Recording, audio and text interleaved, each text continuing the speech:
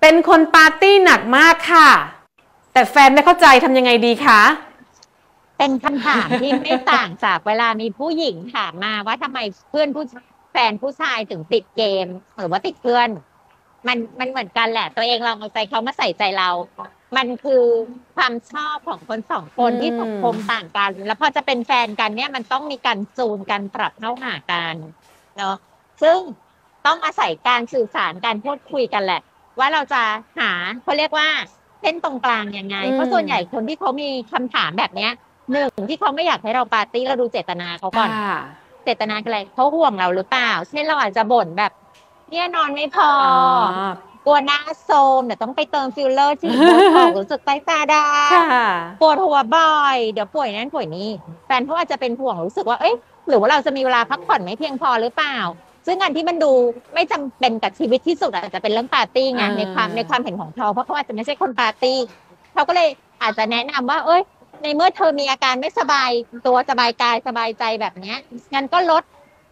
เรื่องปาร์ตี้ไปก่อนไหมอาจต้องดูตรงนี้ก่อนว่าเป็นอย่างนี้หรือเปล่าอืมหนึ่งหรือว่าสองหรือว่าสองเราปาร์ตี้บ่อยจนไม่มีเวลาให้แฟนหรือเปล่าอ่าค่ะเขาอาจจะกำลังเริ่มรู้สึกว่า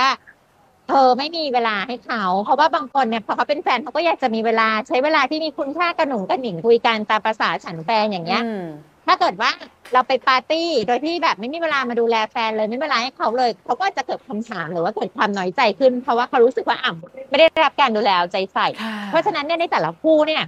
มันมีเขาเรียกว่าสิ่งที่ต้องการไม่เหมือนกันเนาะสิ่งที่มาที่ที่ทำให้เขารู้สึกว่าเออทำไมเขาจะต้องพูดเรื่องปาร์ตี้ขึ้นมาเนี่ยพี่หมอว่า เราเองอะนะจะรู้ดีที่สุดแหละ ว่าอะไรมันทำให้มันจุดประเด็นเรื่องนี้ขึ้นมา เพราะว่าตอนก่อนจะเป็นแฟนกันน่ะ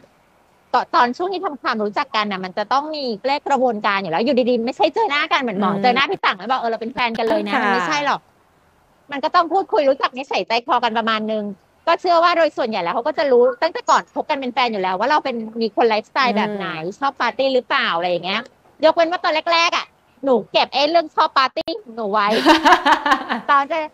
ตอนก่อนจะเป็นแฟนกันหนูเป็นภาพอีกแบบนึงแล้วพอเป็นแฟนไปแล้วหนูค่อยเปิดตัวออกมาว่าเออชอบปาร์ตี้อย่างเงี้ย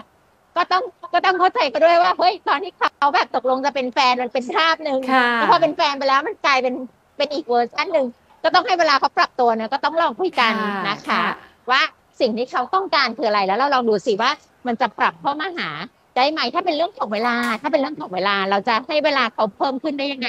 เราลองคุยกันดูก่อนนะ ถ้าคิดว่าจะคบเป็นแฟนกับคนนี้ต่อเนี่ยอย่ายึดตัวเองเป็นศูนย์กลางอืมต้องนึกถึงว่าทำยังไงจะให้เขามีความสุขแล้วเราก็มีความสุข ถ้าคิดว่าจะคุยโดยการพยายามจะให้เข้าใจเข้าใจมุมมองของเราอย่างเดียวเนี่ยพี่ว่ามันไม่จบหรอกค่ะเพราะต่างคนต่างมีมุมมองของตัวเอง ถ้าเรายังยึดมั่นถือมั่นว่าต้องเปลี่ยนให้อีกคนหนึ่งคิดเหมือนเราเนี่ย ยากลูกอืมลำบาก